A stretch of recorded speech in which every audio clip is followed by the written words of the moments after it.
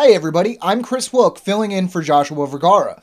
Do you feel the need for news? I know I do. It's time for Android Authority Weekly. Earlier this week, while everybody else was probably suffering from a case of the Mondays, Mark Zuckerberg flew to South Korea to meet with Samsung. Word on the street is that he's trying to coax them into making a Facebook phone.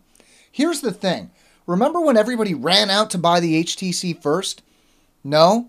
Of course not, because that didn't happen. I'm sure Samsung is very well aware of this. HTC might have needed Facebook, but Samsung certainly doesn't. Sorry, Mark. In the beginning, phones were big. Then they got small. Then they got big again. Now the race is on to see who can build the slimmest phone. Enter the Huawei Ascend P6. Now, we've known this one was coming for a while, but as of Tuesday, it's official and it's looking pretty nice at just over 6mm thick and weighing in at only 120 grams. You've got a quad core 1.5 GHz Huawei processor, 2 gigs of RAM, and a 4.7 inch 720p screen. Not bad. Now, yeah, people are saying it looks a little like an iPhone, and it does, a little, but it's still worth keeping an eye on. Now turning in the complete opposite direction, HTC announced a successor to the HTC Butterfly on Wednesday that actually focuses on battery life instead of being thin enough to cut a cake with. What's it called? The HTC Butterfly S. Okay, so maybe they still need to work on their naming scheme a little bit. But forget that because it looks like the Butterfly S could give the HTC One a run for its money. 5 inch full HD display, faster processor, blah blah blah, I could go on. Here's what's really cool it's packing a 3200 milliamp hour battery, which puts it right up there with the Note 2 battery wise. Not to mention, it's got Sense 5, boom sound, the ultra pixel camera, and blink feed.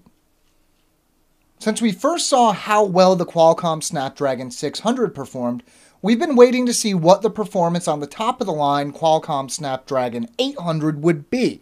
Well, preliminary results are in, and just wow. Qualcomm invited a few folks to take a look at the new system on chip, and many a benchmark was run.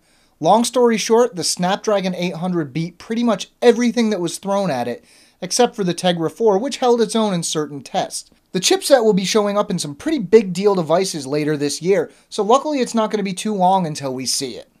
Have you ever wanted to take everything you love about technology, throw it in a bucket, and end up with one big awesome thing? Well, that's basically what the Samsung Ativ Q is. Samsung took the ropes off of this monster at its premiere event in London. It runs Windows 8, but it also runs Android 4.2. We're not talking about dual booting either.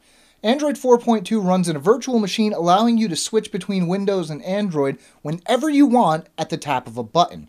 It's a tablet, but we're talking an Intel Haswell chip, 3200 by 1800 pixel resolution, a QWERTY keyboard, and an S Pen because why not, right? Now, what's it going to cost?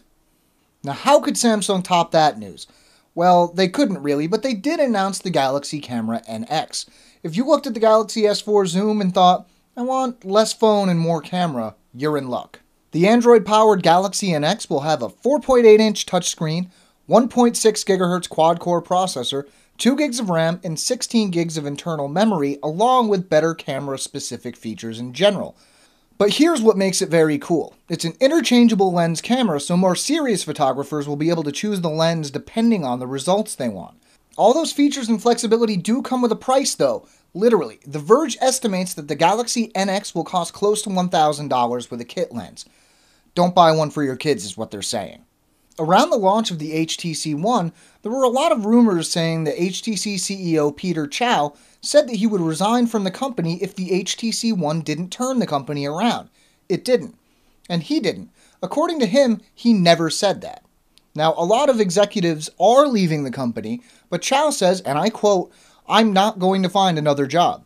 He told HTC shareholders that the company's ultimate goal is to get back to the 10% market share it once had and hopefully go even higher.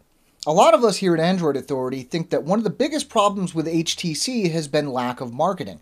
Apparently, the company agrees as they're preparing a $12 million marketing deal featuring Iron Man himself, Robert Downey Jr. Insert movie reference here. And that's it for this week, folks. We'd love to hear what you think down in the comments. You can find a written companion to this video at AndroidAuthority.com. The link is in the description. Josh will be back next week, same time, same place, and I will be back to my usual gig hosting Android Authority Q&A, where we answer your questions every Wednesday. I'm Chris Wook for Android Authority, and as always, thanks for watching.